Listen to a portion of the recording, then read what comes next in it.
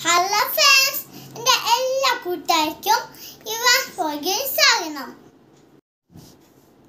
അപ്പ ഫ്രണ്ട്സ് അപ്പ എന്റെ പപ്പയുടെ പെറ്റരാണ് അപ്പ നമുക്കൊരു ലൗകാട ഉണ്ടാക്കാം. അപ്പൊ ഫ്രണ്ട്സ് ലൗകാട ഉണ്ടാക്കാൻ എന്തൊക്കെ സാധനം വേണം നോക്കാം. നമുക്കറിയാം red paper yellow paper pink paper scissors